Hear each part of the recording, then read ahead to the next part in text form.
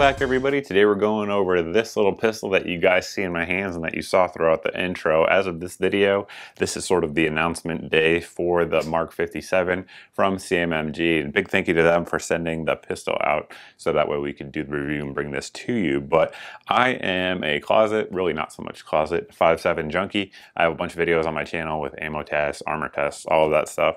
Um, so when I heard they were making the Banshee series of pistols and SBRs in 5.7, I needed to get one. So uh, we got one in. We've been shooting it a ton for about two months now prior to the release of this video. Got about 500 rounds through it so far.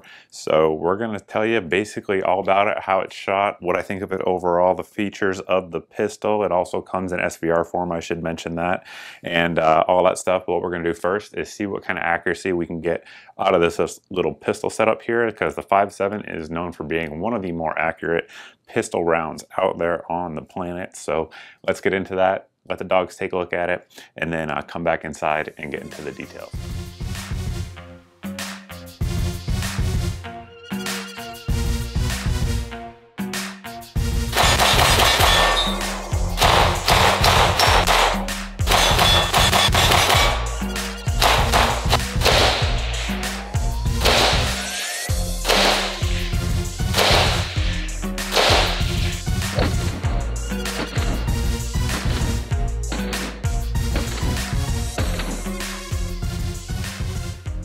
Time to test the accuracy of this little pistol here in 5.7. So we have a target down range at 50 yards.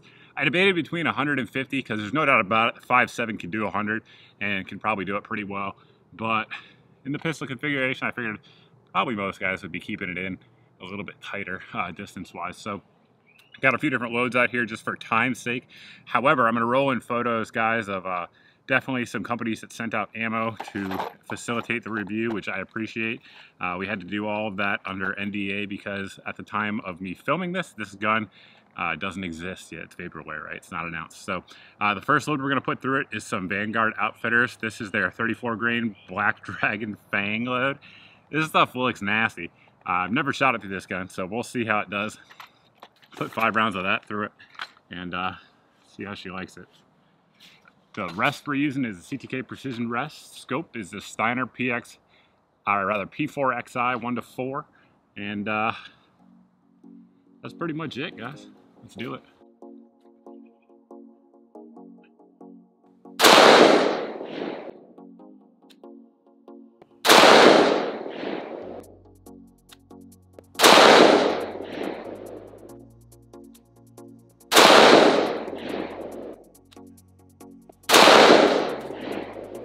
Mad about that group, uh, for sure. Next load up is gonna be the Federal American Eagle 40 grain FMJ load. This is kind of like the bulk stuff that people uh, buy when they're trying to get 5.7 cheap. It's been relatively inexpensive um, over the last year or so, and uh, we'll see how this little pistol here likes it, at least at this distance, distance rather.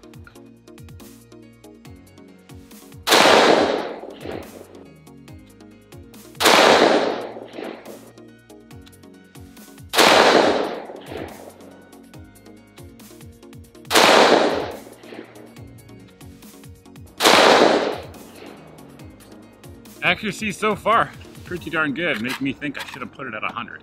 Anyway, uh, next up we have the Elite Ammunition. This is their Protector 1 load.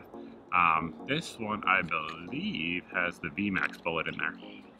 So we'll load up five rounds of that and see how she shoots. So, yeah, uh, trigger on this pistol, as we have it configured right now, is just the mil-spec trigger. So nothing fancy there. And uh, with this scope combination and me being probably dehydrated due to the triple digit temperatures out here, I'll take those groups so far. So we'll see how this one does.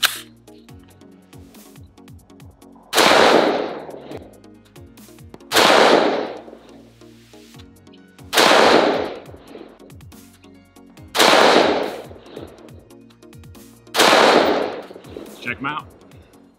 Well, we started out with that Fang stuff, and uh, it certainly shot it pretty darn well. Center to center there. We're right at about 7 eighths, 3 quarters of an inch, somewhere in that range. Again, guys, we're at 50 yards for this test. then we went over here with the American Eagle, shot that very well. Um, we are center to center, right at about a half an inch there. So MOA group with that one. Can't be mad about that. Again, mil-spec trigger, four power scope. Uh, then lastly there, we had the Elite. Had that one kind of fly out, otherwise good. But uh, with the with the one over there on the edge, we're right at about inch and three quarters, inch and seven eighths. So we count them all here. That's what we do. But all in all, seems to be a pretty accurate little pistol.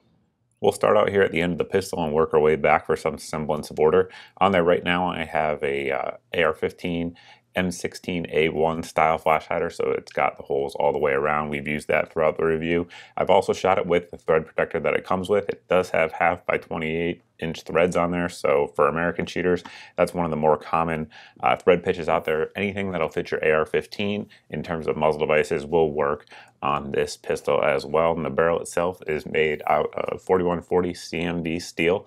It's got a nitride finish, of course, inside. Now that's going to give you a good barrel life, good surface hardness, good corrosion resistance, and all in all, be relatively easy to clean as well. The barrel has a 1 in 9 twist to it. These will also be available with 8 inch barrels, so really up to you, uh, whichever you want to go with. The handguard on there is CMMG's MRL 4 handguard, if I could say that correctly. It's got the M-LOK slots there at the uh, 3 and 9 o'clock position. The one here on the bottom is a little bit moved back versus the 3 and 9 o'clock position. So uh, you can add M-LOK accessories if you choose to do so. I also like that it does have a little hand stop here, and that's also one of the reasons, while we're on that subject, that I really opted to add the flash hider. Of course, it helps with mitigating flash and blast, which is good, but having my hand out there on the end, I want to make sure that my hand is as far away from that muzzle as possible. I don't want it to slip or anything like that. If so, it's going to give you a little bit more length just to ensure that nothing bad happens. So safety is always always paramount whenever you're handling firearms. CMMG tells me that this gun can be shot with subsonic ammo suppressed. So what we're going to do here is, you guys are coming along with me, we're going to change out the buffer as they recommend. So unlike the um, other guard type uh, pistols out there, it doesn't have an actual weight that you drop in the carrier. Uh, you're just going to actually change the buffer out itself. So uh, we're going to take the factory one out we have here. Then they sell this one here, which is the buffer, but it doesn't have any weights in it. So I'm to put that in there, lock it up. And we have some ammo here. This is from Detroit Ammo, uh, and this is a 55 grain subsonic round, at least they say. So we're about to see. We got the uh, Suppressed Armament Systems Reaper out there on the end. And we'll see if uh, subsonic.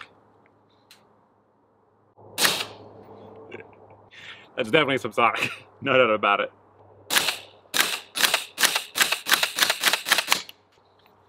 And as you guys can see, functions just fine. A lot of rounds there. So that is the process if you guys want to run subsonic through your little 5.7 MK57 here. Now we're going to get into sort of the heart of the system. Uh, first off, we do have CMMG's extended charging handle that does come standard. As you guys can see, it's ambidextrous, so you can actuate the lever from either side, and it will allow you to run the action of the rifle. It's relatively large. Some folks really like that. Some folks prefer something a little bit smaller, but it certainly works just fine. But the heart of the action here is the delayed radial blowback system that CMMG has. It's been offered on their Guard uh, pistols and carbines that I've reviewed here in the past, and it's also on the Banshee. So in 5.7 here, you can take a look at the bolt. It looks kind of funny because the 5.7 round, of course, is a little bit uh, tiny. We have our ejector, extractor, and then, of course, our lugs that are familiar to anybody who's uh, uh, used to AR-15s. But one thing that's very different about this bolt is these uh, radial cuts here on the back side of each of these lugs. So basically that interfaces with the chamber, the star chamber that you guys are familiar with, and it just delays the unlocking of the bolt prior to extraction for just a second. So it does a few things. Number one, it reduces the amount of force that's coming back versus a straight blowback system, which is important. That allows uh, a few things. Number one, from the shooter's perspective, it's much softer in terms of recoil, and 5.7 has almost no recoil as it is. Then when you combine it with this system, it's like literally no recoil. It's it, it's talk about like a great little setup to start a new shooter on because there's just not any recoil in this system, which I do really like. That delay also does another thing. If you're using a suppressor like we were doing with the uh, suppressed armament systems uh, Reaper suppressor, uh, it makes it quiet more so than just a straight blowback because with a straight blowback as soon as that round's fired that noise is going to come out. The ejection port with the delay it makes it quieter to the shooter's ear because that sound is going to of course go more downrange because the bolt is not unlocking. It's very similar to the roller-lock uh, HK designs out there. I know a lot of folks have shot, you know, suppressed MP, MP5s, and one of the reasons people like to shoot those suppressed is because they are quieter due to the delay. It's the same system, same principle, not the same system, rather, same principle here um, in terms of how it sounds with a suppressor on there. I want to thank uh, the folks at Suppressed Armament Systems, by the way, for sending out that half by 28 adapter for that cam. So big thanks to them.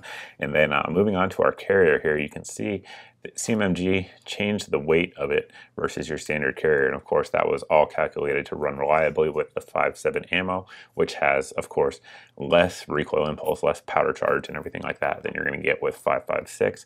You can see what would be the gas key here is just a solid piece of steel reason, of course, is that this is a blowback system, so no gas is actually coming through like it would be on an AR-15, yet we still have decent staking on there. We have this cutout up here. This cutout is also larger than what you'd see in your standard AR-15. And then back here, you can see they lightened it up all around.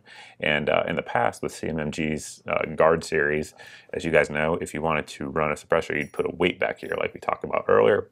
That's not how they do it with the 5.7. They did it with a different um, buffer. So that's how they run it.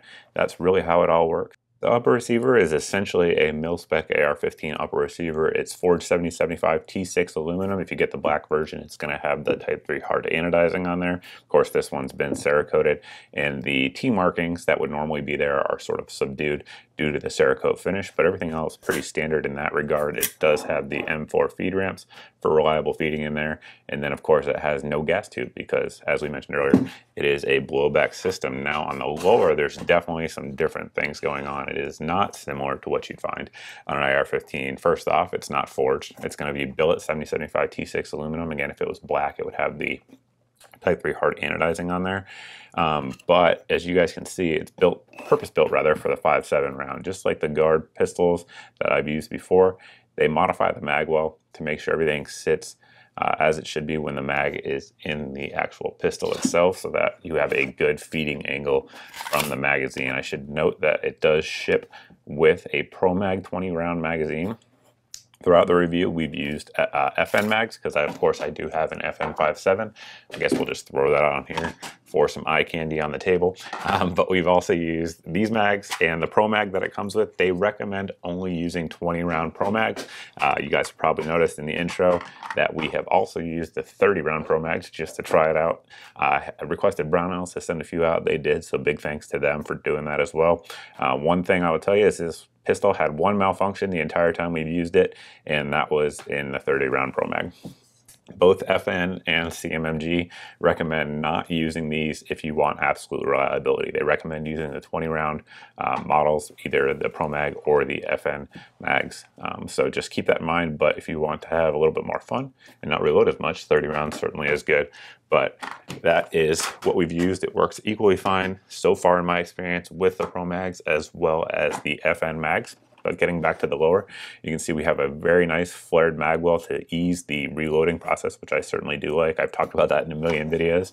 Um, we have our opened up trigger guard so that way unlike a mil spec one if you're firing it a lot you're not going to have your finger dragging on the bottom of the trigger guard which is nice the trigger on this particular one is just CMMG's single stage mil spec trigger breaks right around five and a half pounds it has that real strong reset there that I do like Otherwise, not a whole lot to write home about in that regard, which nothing wrong with that. Safety on this one is ambidextrous, as you guys can see.